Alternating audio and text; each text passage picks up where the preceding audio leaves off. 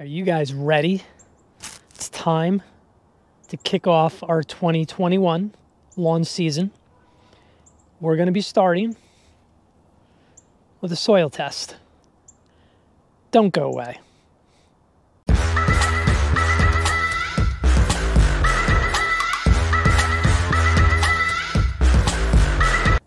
All right, team.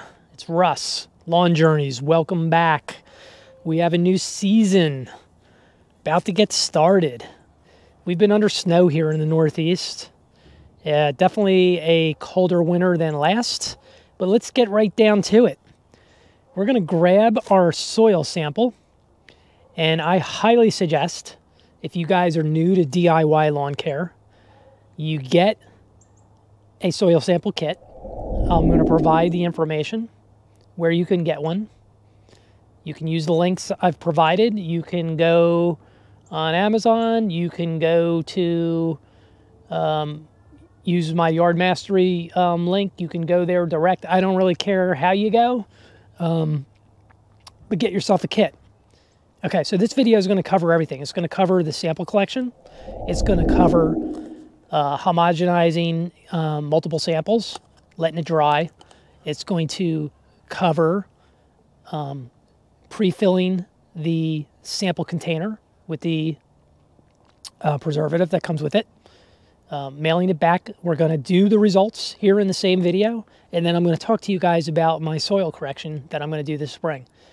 So I highly recommend that you get yourself a sample tool. Um, this tool, I forget how much I paid for it, maybe 15 bucks on Amazon, I can't remember. Um, and like I said, I'll link to it below. But it definitely makes things faster. You just stick it, um, you go in, you come out with your sample, remove the thatch, remove um, anything deeper that you went because you just want to collect the three to four inches. I'm going to put it in this cup. I'm going to be taking two samples from my front lawn, two samples from my rear lawn, probably two samples or one sample from each side of my house. Um, I will let it dry because we have had a lot of snow, so my ground is rather wet right now.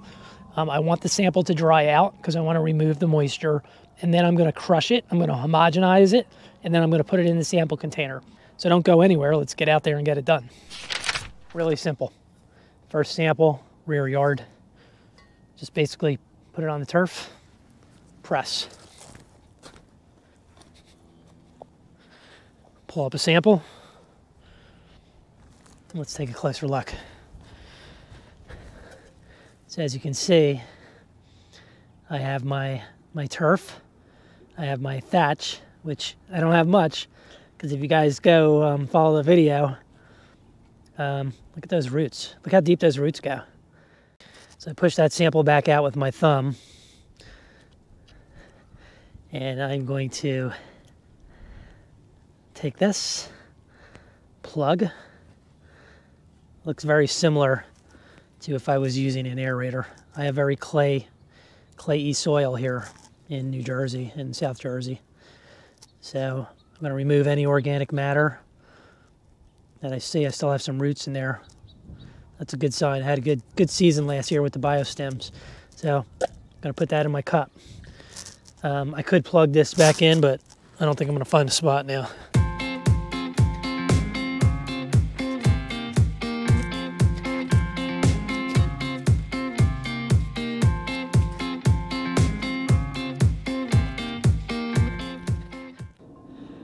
Collected our samples. Um, I have them in this cup. I'm going to take them into my garage and put them in a, uh, a box and let them dry out. All right, team. Um, let's continue this uh, soil test. Um, I have collected my samples. Okay, they're um, in this container. Um, you guys saw me draw the samples a few minutes ago. It was actually two days ago. Um, what I'm using this year is this uh, Yard Mastery um, soil nutrient test. Um, it was marketed by um, Yard Mastery, but it's in conjunction with My Soil.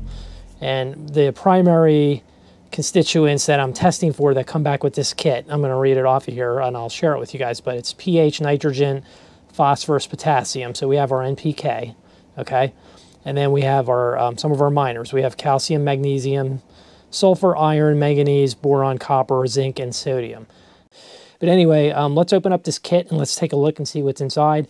I'm going to prepare my sample. I'm going to um, put it into the sample cup. We're going to pack it up and get it out. Okay, guys. So this is the Yard Mastery um, soil test kit powered by My Soil. You guys, I'm sure you've heard of MySoil. Um, there are other vendors on the market, um, similar easy test kits like this. And then you have the folks that are really into, you know, the the hardcore, uh, more, I don't want to say more hardcore labs, but there's other labs like um, Waypoint um, where you'll get the cation exchange um, information, the, the CECs. Um, but that is not what this kit is. It's always my opinion that you're better to sample than not sample at all, okay? All right, so let's open up the kit and let's see what's inside. And this is this is what comes packed. Okay, so we have a uh, registration kit. You can register your kit online. It has information about collecting a good sample. Your depth should be four to six inches, which is what I did. Um, combine the collected soil in a large plastic bag, um, break up the large chunks, um, remove any organic material such as root and debris. Um, there is a sample jar. It has water in it. You're not supposed to dump the water out. Okay, then you're going to mail your sample to the lab. You're going to get re your results and you're going to amend the soil. Okay, there is a um, return envelope provided with uh, UPS tracking. Okay, and then what we have here um, is the sample container with our tracking ID on it. Um, it has uh, water solution in it and a resin tab. There is some um, directions on the back about how to get a representative sample. Um, it's not rocket science. If you're going to only do one kit, you are obviously going to want to collect from different areas of your property. You're going to take the samples, you're going to mix them together in a Ziploc bag, um, crush them up to get a representative sample. Okay. If you have a really large property and you want to buy a couple kits, you could surely do um, your zone separately. I'm just doing um, one sample this year. Okay. All right. So again, um, I'm going to place my samples into my Ziploc bag. They've been drying out for two days. Okay, I'm going to close the bag just to keep it clean. And I'm going to start crushing it up. Okay, team. So um, I pretty much um, homogenized this pretty well. I pulled out um, the organic material that I was able to see physically. There's another little piece of root here. Okay. Or a grass blade. Um, so I, I got some good samples. Um, I've combined them in a plastic bag or uh, you can use a bucket. Break up any large chunks. Um, it should be free of any large uh, plant material, roots, or other debris. And then I'm going to use the provided scoop to get a representative level sample.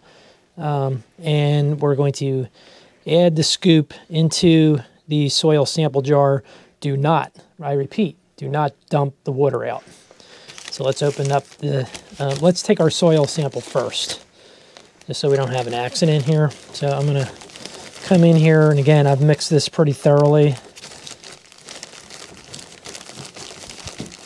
in the bag while the camera was stopped. Okay, so I have a nice level scoop. No uh, immediate reason to wear a glove. It's just dirt. Um, as you can see, this sample container is sealed, so we know that it's uh, hasn't been uh, damaged in shipment or, you know, it left the uh, lab with the proper uh, material in it. There is a barcode here. This barcode matches your registration barcode on the included instructions, and I'll be using this to register my sample.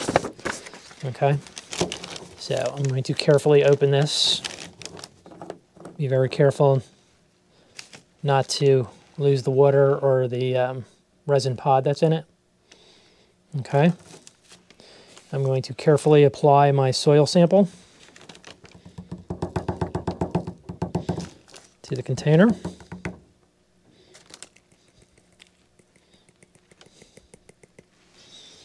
I do see one little piece of debris in here. I'm going to pick that out.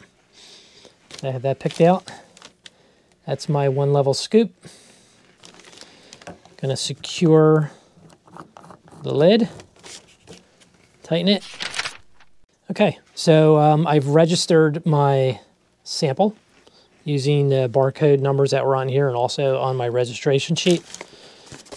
I'm going to slip this sample into the sample package.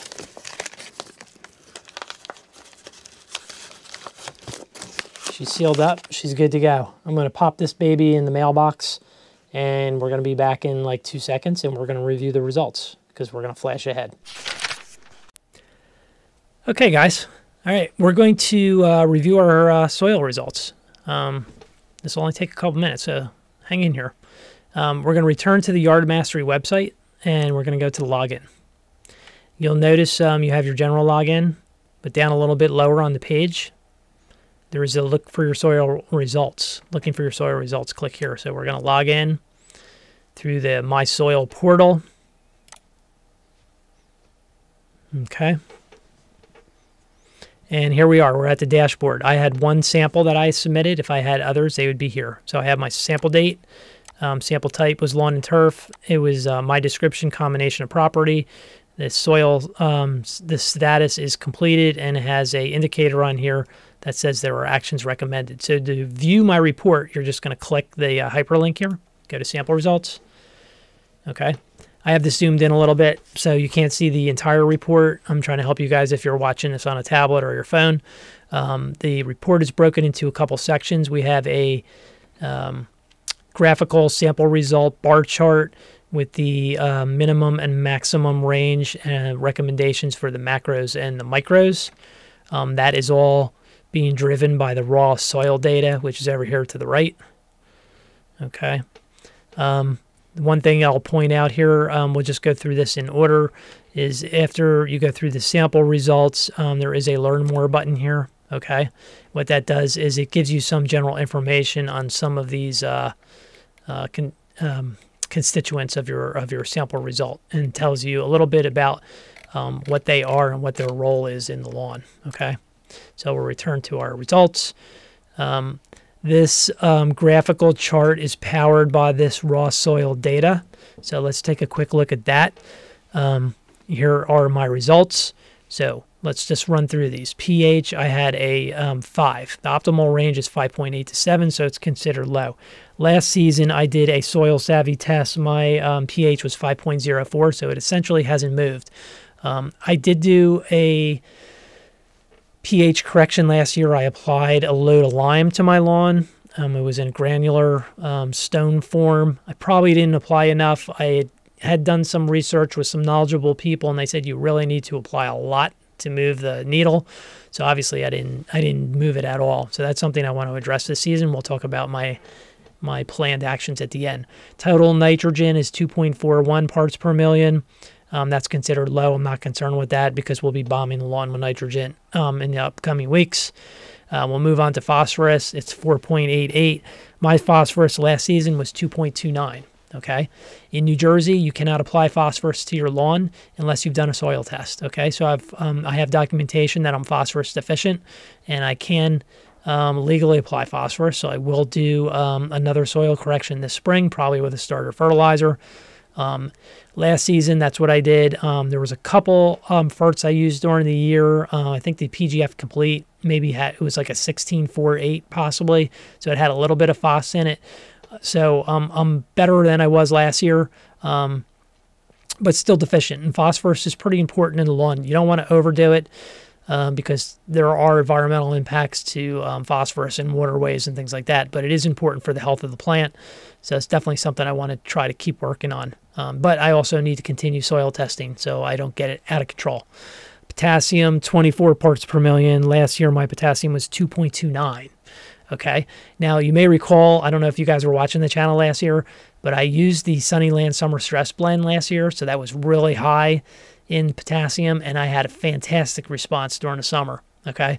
Um, I think my lawn did really well in the in the drought in the heat, although I was irrigating, but it never it, it really didn't suffer um, like it did in years past, and and I I'm thinking maybe some of that had to do with the with the potassium. Okay, so I'm definitely going to be still riding that bus this summer.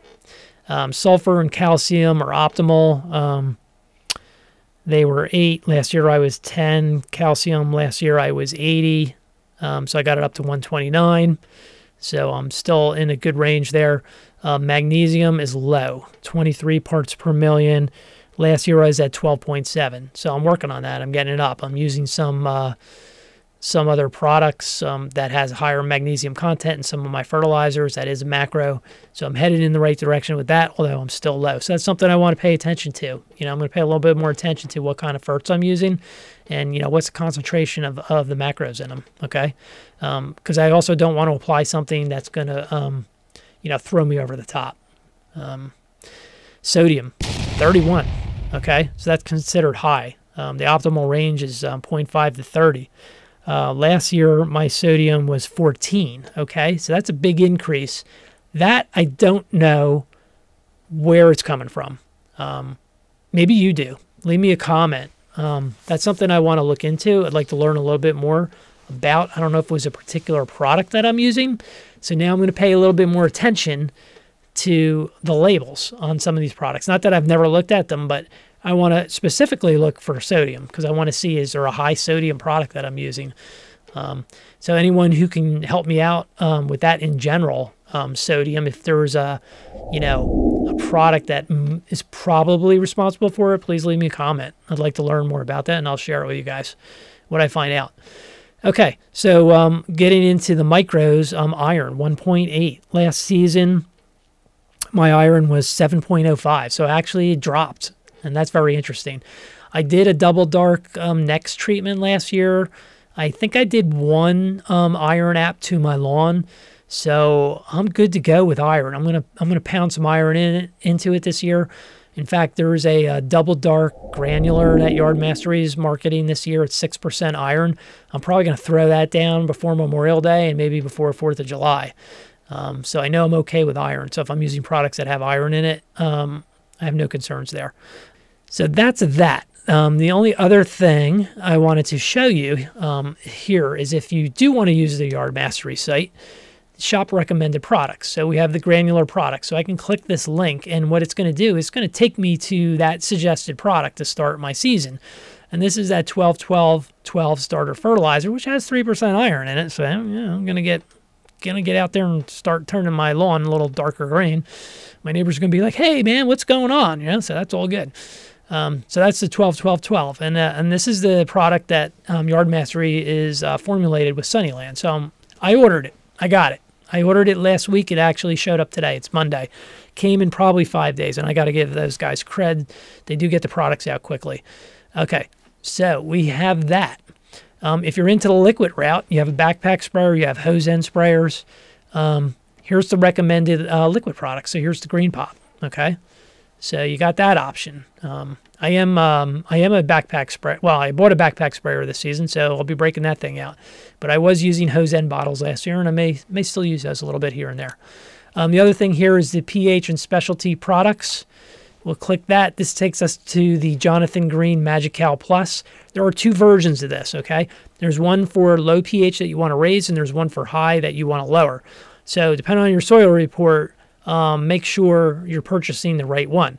Now, last year I used lime, okay? And there are people who have done reviews, okay? This is this is 28 bucks a bag, okay?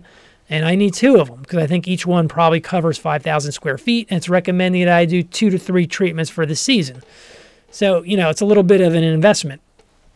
You probably can go get a Dolomitic lime down at Home Depot, Lowe's. Um, I put the lime down last year. I didn't move the needle.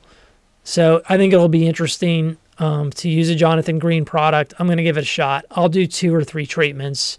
Um, and we'll do another um, soil result and let's see what happens. You know, if it doesn't move it, I'll go back to the drawing board and try to figure out a better plan for next season. So I'm down with that. I ordered two bags of that for my first treatment.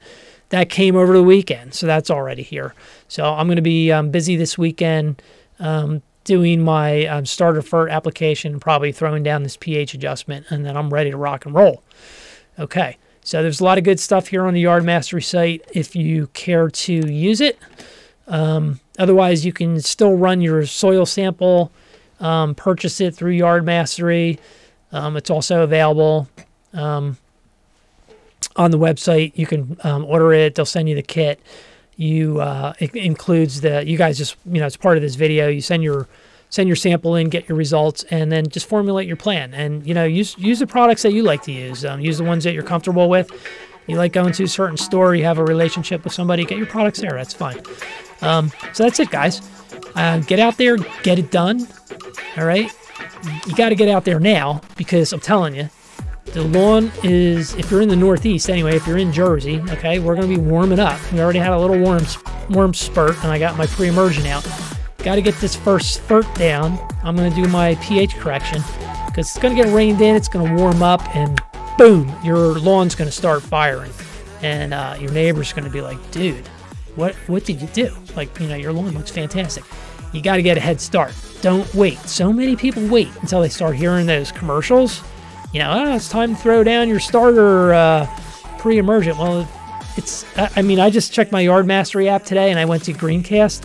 Um, we already had soil temperatures in the 50 degree range, okay? Crabgrass germinates um, between 50 and 55. By the time they get those commercials on the radio, I think, I think, and I, you can't quote me, but I think part of it is they're like, it's something people start thinking about when the weather's nice, but really, if you're on the ball, you got to get this stuff down. You got to get it watered in now. Okay. Um, if you wait until it's 75 degrees out, stuff's already coming up. You're gonna have crabgrass coming out of your ears. Um, I got my stuff down. I'm gonna get my fert down this weekend. When my lawn wakes up, it's gonna be bathed in some really nice nitrogen. It's gonna have some nice yard mastery starter fur on it with the. Um, they have the Bionite in it, which is kind of it's it's some of the uh, product similar to uh. You can read about it on the website. Um, it's going to have 3% iron push going, so I'm going to wake up strong. I'm going to wake up strong, so I'm looking forward to it. So, uh, guys, let me know what uh, how you're making out, and I'll see you next time on Lawn Journeys.